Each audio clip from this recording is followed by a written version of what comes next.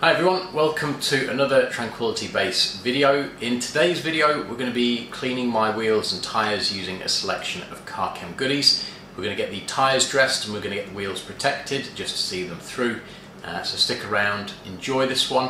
Uh, I'm going to run through just the process first, so the main body of the video is that. I'm going to give my thoughts and my review at the end of this video, so if you're interested in whether or not these are worth buying, then you'll find the answer hopefully there. Before we get going, if I can ask you just to pause for a second and uh, maybe give us a thumbs up, a thumbs down, leave a comment, or if you've not yet, please do subscribe. It costs you absolutely nothing, but it helps us to grow, so be very grateful if you do that for us. With that said, let's begin. So the goal in today's video is to get the wheels washed up. Uh, we're going to get some protection put on those once they're done. We're going to scrub all the brown out of the tyres and then get that dressed up as well. First, I'm going to just get all of the loose stuff rinsed off the surface with a pressure washer. We've done our prep work already, got the wash solution all mixed up, we've got our tools laid out, we've got our brushes, wheel woolies, wheel mitt and chemicals all ready to go. First thing we're going to do is a liberal application of the all clean to all the surfaces. So we're talking wheel, tyre and wheel arch. Uh, important not to miss that area. Uh, and then whilst we're letting that sit on the wheel, we're going to go ahead and just scrub the tyres out. Uh, sometimes this can take me multiple goes just to get the tyre to a state that I'm happy that it is clean. Uh, a good visual indicator for yourself is the colour of the foam as you're scrubbing the tyre. Uh, you can see we're very, very brown at this stage, uh, and then just after multiple hits, eventually you'll see the foam scrub out be nice and white. Uh, and that's a good indication that you've got a lot, if not all, of the dirt out of that tyre face.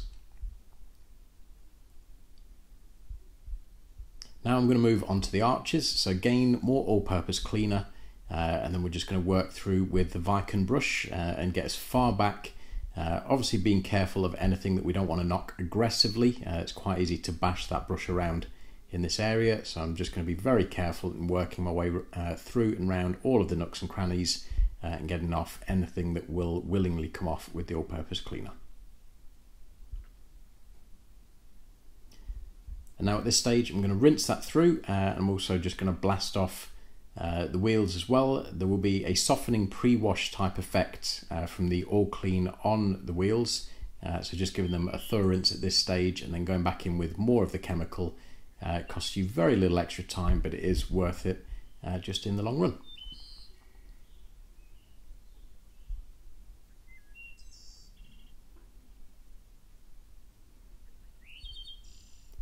Now I'm going to start from the wheel barrel and work from the back of the wheel uh, to the front.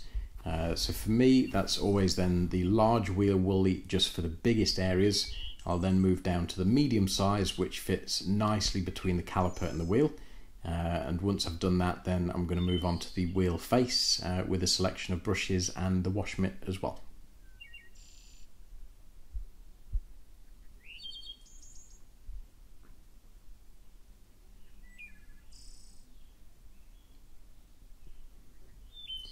And here I'm just being sure with the wash mitt to uh, give the spokes a bit of a reach around.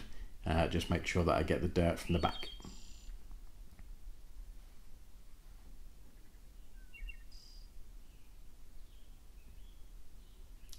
Looking better already.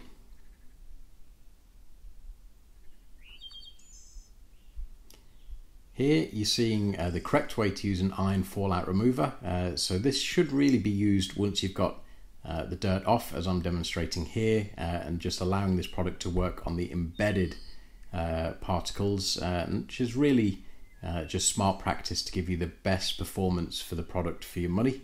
and now I'm just going to let it dwell and do its thing.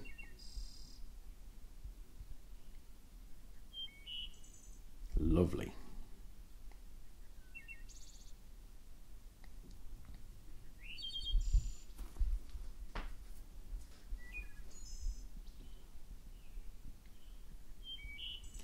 Whilst we let that dwell there, it's time for the Instagram shot. Uh, so this is the incorrect way to use uh, a fallout remover, um, but it does look pretty cool. So liberal application onto a completely unrinsed and dry wheel. You're going to get the full effect of the colour change. One thing this will demonstrate is the potency of the product. Uh, so these products, although they come pH neutral in the bottle, they are acid based. So as they react, uh, they're going to eat into the brake dust that's on there. And you're going to see that once we rinse it off, just how effective it has been at that stage.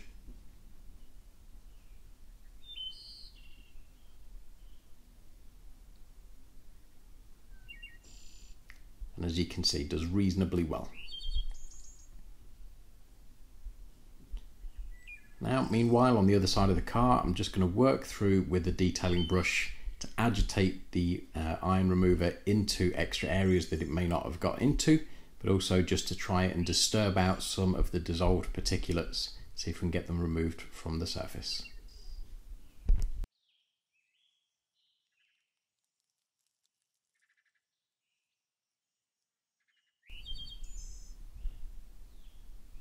And now we just allow it to sit for a while longer now that it's been agitated uh, and then after that I'm just going to rinse it away.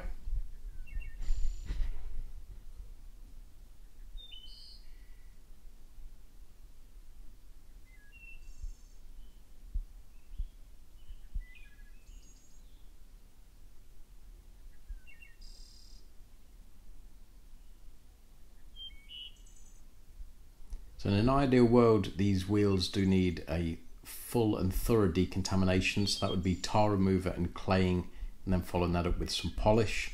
Uh, but in this instance, that's not the plan for this video. Uh, so the finish shots do bear that in mind.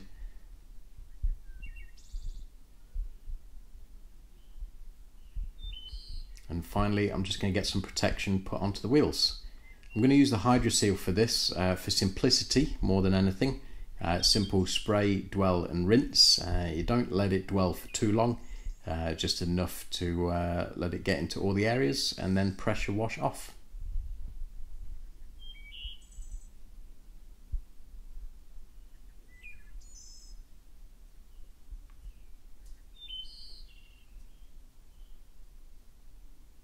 And whilst I do that, you're going to see the water start to have uh, more of a hydrophobic effect uh, that's it really just being repelled from the surface and showing the protection that's now been applied.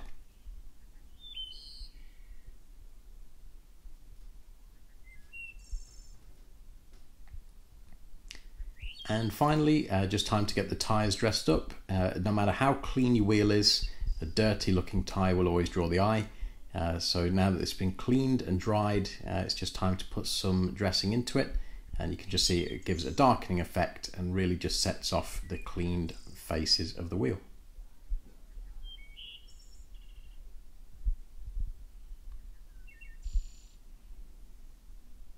Now I'm just going to complete the other side.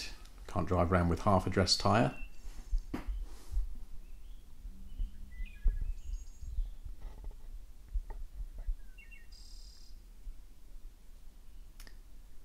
and that is job done.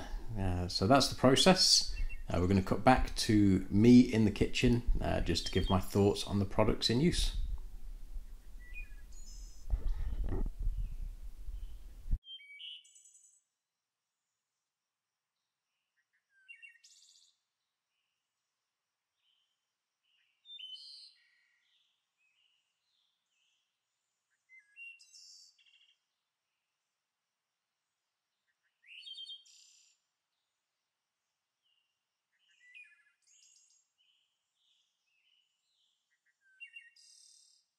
So I hope you enjoyed watching that, uh, but how do we think these products here fared? Uh, for the review we're going to look at four of the products featured, so that is the All Clean, the Hydro Seal, the Iron Detox and the uh, tyre and trim dressing. Uh, the shampoo, although it does feature, is going to be in the wash video which is in the next one, uh, so we'll hold our thoughts back on that one just for now. The All Clean itself comes relatively ready to use. Uh, anything that comes 500ml with a spray head kind of infers that's the case. Uh, and my thoughts on that type of product has always been the same, and that is that they're a very poor value for money option. Uh, it's not to say that the product in its ready to use form isn't strong or it's bad, uh, but honestly, when you can get for double the money, uh, 10 times the product which can be heavily diluted down, then all of a sudden 500ml looks to be a bit of a bag over the head. We did dilute it down as the instructions say as possible and in this video we ran it at 4 to 1 dilution ratio uh, throughout and at that ratio it does a fair job. It's not the strongest, not the most potent, I'd describe it as a relatively gentle cleaner so if that's something that's high up on your list of needs then by all means go for it but if you are looking for something that is going to move dirt at a good rate uh, and can be diluted further and thus be a better value for money option then I don't think this is going to be the one for you. The tyre and trim dressing, uh, now there's a bit of an odd one because Carchem do a standalone tyre dressing as well as this product. Uh, and we have used it on trim, which again in the next video we'll look at how that fared. But as a standalone tyre product, it leaves quite a shiny, sheeny finish, which on personal preference alone isn't for me. If that's the type of finish that you like, then you won't be disappointed.